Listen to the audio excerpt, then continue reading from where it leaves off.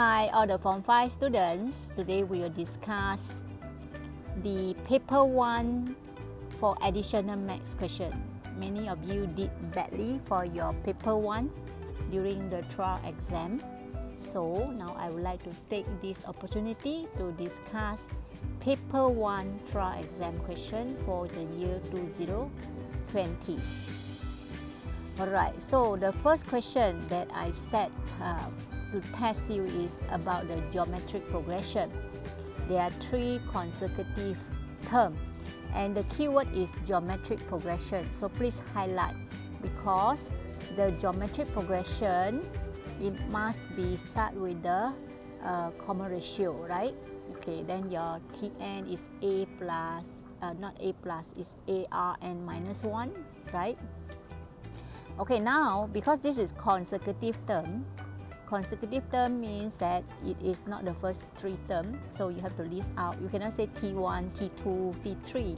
You must say, okay, 2 alpha minus 1, okay, then alpha plus 1 and alpha minus 1 are the consecutive term.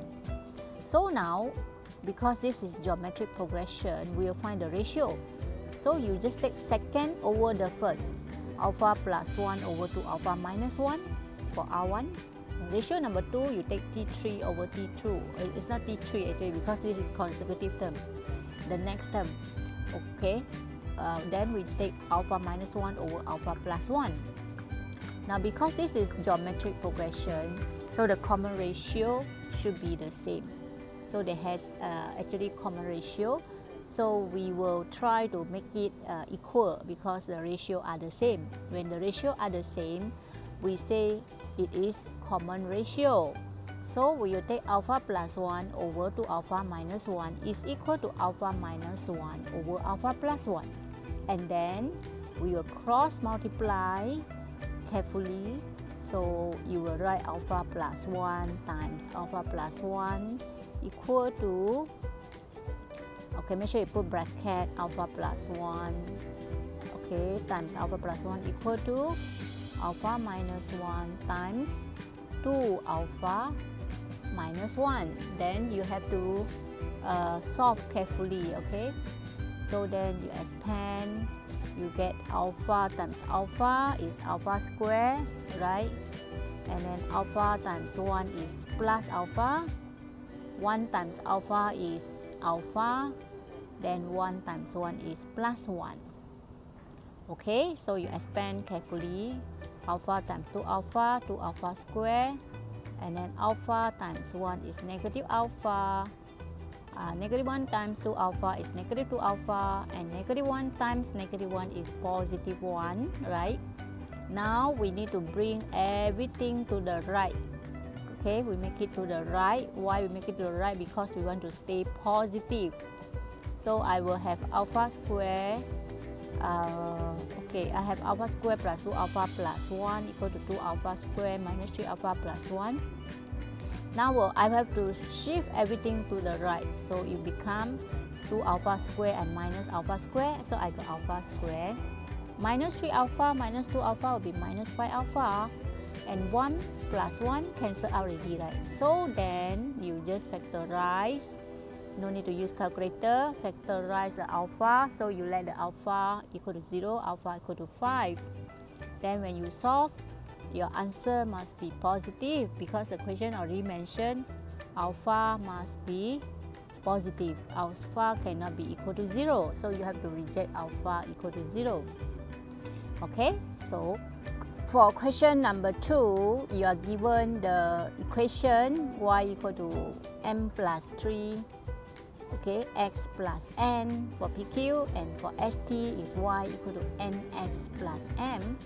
So because this is straight line so we will uh, read the question. The question says uh, the statement shows the equation of two lines pq and st are perpendicular. So whenever you see perpendicular the gradient the two gradient you must read out first from the PQ, the gradient is the number in front of the x, okay? In front of x. So if we give you anything in front of x, that is the gradient. So it's m plus 3, uh, not m. Uh. For m2, the gradient is n because n times x. So now you just focus to the number in front of x that is gradient. Okay, now you just uh, use a concept m1, m2 equal to negative 1. Then you just multiply. Take the two gradient and multiply. So m plus 3 times the n equal to negative 1. So m plus 3 equal to negative 1 over n. and then the plus 3 you can bring over become minus 3. So you can give me this answer. I can accept also. But you can also make the denominator the same so it's minus 1 minus 3 n. So make sure you write the n. It's not minus 1 minus 3. Okay, it's minus 1 minus 3n over n. Or else you write minus 1 plus 3n also can. Okay, so you have to write n there. Yes, this is the right answer. Or you can write minus 1 plus 3n over n. Right, so this is the answer that I accept. Okay, so for paper 1, we have a perpendicular concept. Okay, we have uh, uh, many concepts in paper 1, so you have to revise okay, before your exam. Make sure you memorize the concept, right? For question number 3, this question is about vectors. Uh, actually, this question tests you on a unit vector. So you have to study the uh, diagram so they give you point, all right? They give you point A, a point A is 6, 2, and they give you point B is 3, 5. All right, so now you're asking to find AC. So AC, first of all, you have to label the point 6, 2 for A, and then for the point B is 3, 5, you label. Now I want to teach you how to do vector. For vector, origin is O 0, 0. Okay, so normally when we do vector, we want to have a triangle law. So from A to C, okay, you write A to C it's just like you travel from one place to another place. It's equivalent to you go to A, from A you go to O, then from O you go to C. It's like this. Okay, triangle law, you must assuming that you are travel. Okay, not just write the triangle for fun. You have to travel. A to C is A to O plus O to C. Okay, this one is actually triangle law. Then uh, because we want to find AC in terms of I and J, so we can substitute. We have OA, right? OA is given the point 6, 2, right? So if I ask you to give me AO, you should know that A to O, the direction is going down from the uh, vertical axis and go to the left, isn't it? So it becomes negative, right? Right so try we have to use a triangle law whenever we move for vector. So a to o is actually you move uh, negative 6 right to the left and you go down right two steps so okay let's write the vector AO it should be opposite with the point. Now uh, let's uh, explain again because I think some of you are still not clear how to do. So first of all, you label the points A62, point B35, and then O is origin is 0, 0. So now we want to find the vector AC. Okay, A to C. Okay, before we talk about AC, you must understand how to read the point in terms of vector. So if I give you vector OA, so you can say is uh, 6, 2. Okay? vector OA is 6, 2. If I say O to A, the arrow is heading from O to A. Starting is O, ending is A. So I can say the vector is 6, 2. Do you know that? Okay, if I say uh, in terms of I and J, so you can write 6i plus 2j, right? Alright? Okay, that is called unit vector. But if I say uh, OB, so what you can write is you can write in vector column like matrix. Uh, we say matrix. So O to B, now I want to uh, write the OB. So O to B is 3, 5. We call the x first, okay? 3, 5. Because some of you forgotten the vector, so now I reteach. So O to B is 3, 5. We move x 3, then go up 5, right? Or you can say 3i plus 5j. i is the movement along the x-axis, 1 unit. 1i is 1 unit, 3i is 3 unit. So 3 means 3i. Okay, now let's say I want you to find vector OC. Now you, you will wonder how to find vector OC, right? Vector OC uh, is uh, not given because the point C not given. So now you have to know the concept of equal vector. Without the concept of equal vector, you cannot do this question. So many students cannot answer this question. It's because they don't understand what is equal vector. So O to C, okay, in purple color, is the same with A to B. The direction are same, magnitude also the same. So when two vector same magnitude, same direction, we call as equal vector.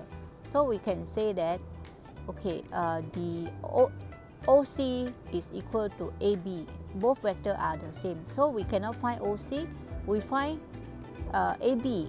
Okay, we find the vector AB. So AB can be found because you have two points, right? So remember I say vector always start with the, if AB start with the A, then interchange is O, plus OB. You write the triangle law like this. Then you substitute because you have uh, OA, right? So if you want AO, you have to make it negative, right? So it's negative 6, uh, negative 6. I write in vector column because uh, I think if you write in vector column, then finally then you change to I and J. It's better lah for me because if you write I and J, it become very long, isn't it? So I write negative 6, negative 2 plus OB. Just now we got the point. O, OB can be used a point because it's uh, heading to O to B, so it's 3, 5. So you find your vector AB first. So you got negative 3, 3. If you can get negative 3, 3, that means you got the vector OC because both of them are equal vector. They are equal vector because they are having the same direction parallelogram and they also have the same magnitude. This is very important concept. Without this concept, you cannot solve the vector problem for this question. So this question tests you equal vector. Alright, so then after that you can do already because you already got the vector uh, OC, right? So now we want to write, we are asking to find vector AC, right? We want to write the triangle law so A to C is A to O plus O to C. OC we got ready, right? Is equal to AB. So now you write properly. Okay, A to C is equal to A to what? Okay, look at the triangle again. A to O plus O to C. Remember I say the starting must be first letter, the ending must be second letter. In between is the place where they interchange, they meet. Okay, so A to O plus O to C interchange at point O. So you substitute the AO just now we have uh, negative 6, negative 2 plus OC we have AB right, negative 3, 3. So finally our answer is negative 9 and 1. Then because the question asking for unit vector, so they don't want the vector column. So you have to write negative 9i plus j. So your final answer must follow the question's instruction. If they want i and j, you give negative 9i plus j. If they want vector column, you give negative 9 and 1. Okay, make sure you write negative 9i plus j. Don't write 1j. 1j is not the final answer. Okay, for collinear of the vector, this is very important okay every year we will see collinear concept okay for vector so whenever there is a collinear vector you remember what I say now you must express the vector the in terms of the ratio. And the ratio that you use must be a constant that not the same with the A or B or K. Alright? So you can use any letters from A to Z but cannot use A. If possible don't use B don't use K right? Because later it will become uh, mixed up. So we use H. You can use M you can use P you can use uh, lambda anything okay but normally we use something that is easy to write so I will use H So then I just substitute the vector inside. This is how you do collinear vector. You write the ratio. Remember, you must tell yourself, I must write the ratio first. After that, I substitute the vector 5a minus 2b equal to h. Then bracket 3a. Copy, just copy everything. 4 minus kb, right? And then, don't forget there is a constant h. That is your ratio. And then you just, for vector, you just make sure you have two term at the left and two term at the right. And then you just do comparison. So 5a minus 2b, two term already, right? So you don't do anything. This one 3ha. For vector, we always do solving problem for vector. It's always like that. Must have two term at the left and two term at the right. So remember your 3h. h times 3 is 3h. So the 3h is the uh, constant. So write your h. Alright, 3ha. Constant right at the left, vector at the right. Plus 4 minus k. h, don't forget there is a h. Huh? Okay, then you just, we just, because we have left and right got two terms, we just do comparison. So that means 5 is equal to 3h. Okay, that one I circle in green color. So later I will solve 3h equal to 5. And then I find my h first. With the h, then I can substitute into my k. So another one I circle with the blue. Negative 2 equal to 4 minus k times h. Alright, so then I will solve it. I will solve my uh, h first, followed by I will solve my k. Okay, so that is how you do collinear vector. Even parallel vector, whenever you see collinear parallel, you must tell yourself, this is, this is the way to do, okay? So you just follow the way. So h equal to 5 over 3, and then uh, after that you substitute the h into another uh, equation, negative 2 equal to 4 minus kh, right? Okay, you substitute, then you can solve and find your k. Right, so for vector, it's very common. Collinear concept is uh, compulsory to know before your SPM exam. So you have to always remind yourself, you have to memorize the concept. Okay, 4 minus kh equal to equal to negative 2, right? Okay, so now you expand carefully. Okay, your h is 5 over 3, right? Just now you found already. So you can substitute. Okay so 4 minus k copy. Then you times 5 over 3 lah because just now you found already. 5 over 3 your h is 5 over 3 equal to negative 2 then now the number you solve first 4 minus k leave it. Negative 2 you press the calculator negative 2 dy by 5 over 3 then you get answer negative 6 over 5 right? Okay then only you bring the k to the right and then bring the negative 6 over 5 to the left so your answer is 26 over 5 is the k value after you solve the h. Okay remember when you have collinear this is how you solve.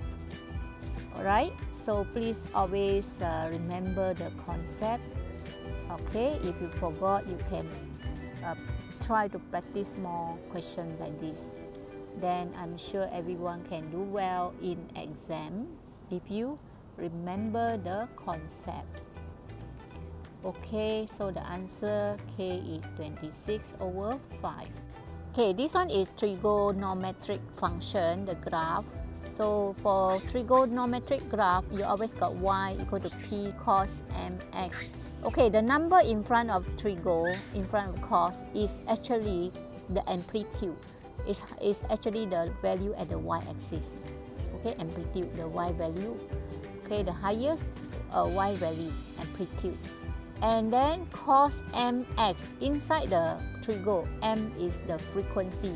That means how many times the cosine graph repeat, repetition, how many cycle. So we call as frequency, how many times it appear. So you look at the graph until 2 pi, you can see how many cosine graph. Okay, if you got a 2 cosine graph, that means the frequency is 2. If you got uh, one and a half, that means the frequency is 1.5. If you got one, that means the frequency is 1. So the amplitude referring to the the y value, okay, the highest y value, that's called amplitude. Remember, uh, this is a concept. Frequency is referred to 1, 2, 2 times the sine graph, repeat, because you have 2s. Amplitude here is 2. So I can change the amplitude. Uh, the frequency is 2 because the S appear twice. If I change a 3, the amplitude is 3, but the frequency is still 2. Understand? So the amplitude is the Y value, the highest value. Okay, clear? So with that, I think you should know how to answer your P and your M, right? You look at the graph. You study the graph first. Then you see the, the frequency is we trace how many S. Okay, if one S, the blue one is 1, so frequency is 1. If another one appear, then we say uh, frequency is 2, right? So this is so-called frequency. Okay, uh, frequency is always the number after the trigo, means maybe cos 2x, cos 3x, like that amplitude is number in front of the cos or sine or tangent. So you look at this one, you see the cosine graph. Your, your highest y value is 3, right? That means the p is 3. Okay, your p is 3. Very easy, right? If you understand. And then you see uh, m is the frequency. How many times of the cosine graph you can see? How many penty? Okay, one penty and half, isn't it? So you can trace you show you can see one one uh, cosine graph okay At the the one in yellow color is one already now after one cycle you have another another half isn't it so the frequency that I uh, uh, trace is using yellow is 1 at the moment but until 2 pi so you have to continue there is another half isn't it? Okay if until it stop there until 2 pi then it's 1 but now you see until 2 pi you got another half. So that means the frequency is 1 plus half.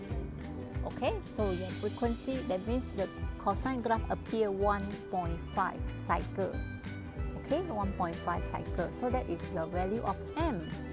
m is frequency. Remember that. You must remember the concept. Okay additional maths is a matter of concept. So you have to memorize it. Alright? I think if you try to memorize it you got no problem. So your P is 3 your M is 1.5 okay? Please follow and then learn from your mistake okay for this one trigo equation so when you see there is a double angle 2a you quickly go to the formula sheet find the one with the cos because when you solve the equation you want everything same, either all cos or all sine or all tangent. So we have 2a, we have to convert to a. So you, you can get this formula from the formula sheet there. And then you write 2 cos square a minus 1 equal to cos a. Okay, this cos a not x. Huh? So I'm going to rearrange because I knew that it is quadratic equation. So, okay, when you solve quadratic equation, you should know you can use a calculator, right? So, actually cos square a is just like your x square and cos a is just like your x is one unknown. So then you can factorize using your calculator, right? So you got two, you, your answer is uh, 1 over 2, right? So you plug into the uh, factor, you must make it minus. Okay, now we, we need to check the sign, 2 cos square. So yeah, we have to put plus there. So that means cos A, if I solve is negative 1 over 2. You have to show the proper step, okay, when uh, exam, write the proper step so that if your answer is wrong, we still can give you working marks. So cos A is negative half, another cos A is 1. So when you solve, you can uh, find your alpha first. Remember when you solve the trigo equation, we always find the alpha. Cos A equal to negative half, we won't press the calculator shift cos negative half we will find the alpha as a reference angle. So it's 60 degree. Then we will refer to the quadrant whereby cos is negative, which is second and third quadrant. And then another one is cos A is uh, 1. This one you can get it from the cosine graph. Even you shift from your calculator, calculator cannot give you two answer. So your answer is 0 and 360. So for this question, you got how many answers? You got 4 answers. Okay, 0, 120, 240 and 360 degree. So write your answer in order so that easy for the marker to mark your answer. Okay, so this is your answer for trigo equation. So whenever you do trigo equation, always make sure you got one unknown and then make sure you have uh, okay you have solved according to uh, the trigo equation method. Okay for this one you are given the inverse function. So if you give given the inverse function you have to find the function. Normally we will let y equal to the inverse function then we find our x.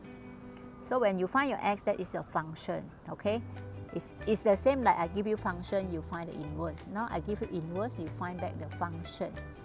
So that means you just uh, try to times uh, 4, become 4y equal to mx plus 3. Then you try to find your x. If you got the x, that means that is your function because you're given inverse function. Okay, so every time when you do a function or inverse function, you always let something equal to y, right? And then you find your x. That is a step that you need to memorize. Okay, so when you find your x, that is your function. You can write everything in terms of x because the object is x. Okay, fx. Alright, so you cannot say uh, fx equal to 4y minus 3 over m. Cannot, you must say fx equal to 4x minus 3 over m. 4x minus 3 over m. Everything must be in terms of the uh, x alright? Then after that we want to solve right? So the question say f x. Okay let's let's say I want to solve any function. I will follow f something. Something is the object equal to 4 something I leave it blank minus 3 over m. So if I put x square I have to follow exactly the object. The rest remain the same. Okay so you substitute uh, x square inside. So and then 2 gs you just times 2 for the gs become you times 2 2 times 4 you get 8x squared right? Then 2 times negative 3 you got minus 6 right?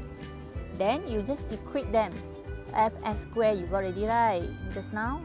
Then just now you got 8x squared minus 6 right? Okay now until now until this stage you use a highlighter because the question asks you to find m right so you use a highlighter, you just highlight because both of them are left and right are the same. Okay, that means 4 over m, you highlight, it should be equal to 8. Yeah, that's the way. So you use a highlighter. You Because you want to see your m value, so you have to equate them. Equate them. That means 4 over m must be equal to 8. They must be exactly the same. So 4 over m must be equal to 8. Then only they, both are the same. Or else you can say negative 3 over m is equal to negative 6. Can. No problem. You will get the same answer. Answer is the same. So 4 over m is equal to 8. So 8m equal to 4. Then you solve. Your answer m is 4 over 8. So your answer m is 1 over 2. Right? Okay, if you want to double check, you can use another way. You can say negative 3 over m is equal to 6. Okay, the same thing. Uh, negative 3 over m, the number and number, the one with the x square and the one with the x square. Negative 3 over m equal to 6. So end up you will get the same answer, alright? Negative 3 over m equal to 6, so m is equal to equal to negative 6, huh? So 6m equal to 3, m is 1 over 2. So the answer is still the same no matter how you do. Okay, understand? So I think no problem, right? If you practice a lot, you will notice that you got no problem in exam. Okay, there's one more question, the last one. Uh, today I discuss uh, a few questions. Tomorrow I discuss another few questions. Alright, so this one is a quadratic equation. So basically you have to read your A is 2, B is 4, C is negative 3, right? Then the formula alpha plus beta is negative B over A. Alpha beta is C over A. okay okay this is a formula alpha plus beta you just take the number negative 4 over 2 so you get negative 2 it's very simple and then alpha times beta you just multiply okay it's a formula. You don't have to bother what's alpha what's beta. You just take the c over a. So c is what? So you just uh, write down c is negative 3 over 2 that's the answer. Very easy right? Alright so this one solved. Okay then I have one more which is uh, this one is composite function. Okay so uh, the solve sum of the root and product of the root that is alpha times beta. Sum of the root and product of the root solve so today's sharing until here. So after darkness you will see the light under the tunnel. Okay if you fail for your additional maths it's okay. Uh, this is just a trial exam.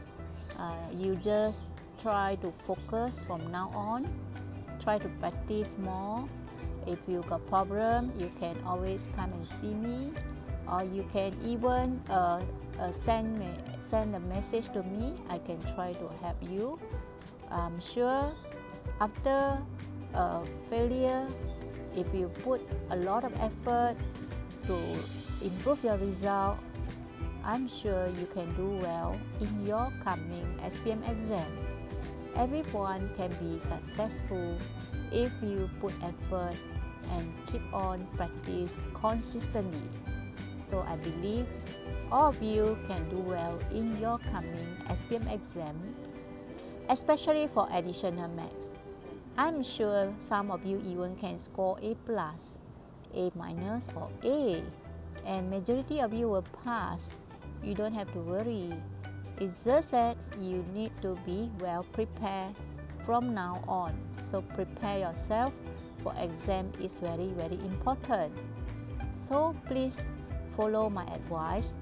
Try to practice uh, additional maths okay consistently every day okay if you got doubt or you got any problem you can come and see me and I will try to guide you to improve your result don't feel shy and don't feel afraid to ask a teacher okay we are here to help you uh, to improve your result. It's our duty to make sure you pass your exam. Okay, so uh, until here, my sharing for today. I wish you all all the best. Stay healthy. Good luck and have a nice day. Bye bye. Have a good rest.